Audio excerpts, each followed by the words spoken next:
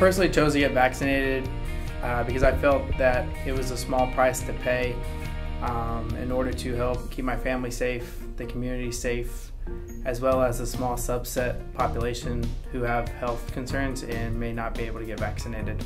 I think it's no surprise uh, the effect that it's taken on students' uh, social emotional health as well as academic performance.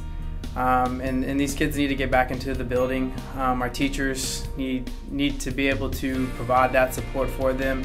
They need to be able to have the interactions with friends, get back on the playgrounds. Um, you know, get a little dirt back on the on the knees and the elbows, and, and rebuild those immunity systems. Something that you can't get um, from from being at home. And so, getting them back into the building, us being able to, as educators support them um, at, the full student. You know, as we always say, we educate the full student, and that that's academics as well as the emotional side of things. And I think Harmony, they've done a really great job up to this point, uh, utilizing Purple for us to be able to kind of identify um, these gaps that we have and, and, get them as much support as possible. But it, it's nothing, nothing will beat being able to interact with that child.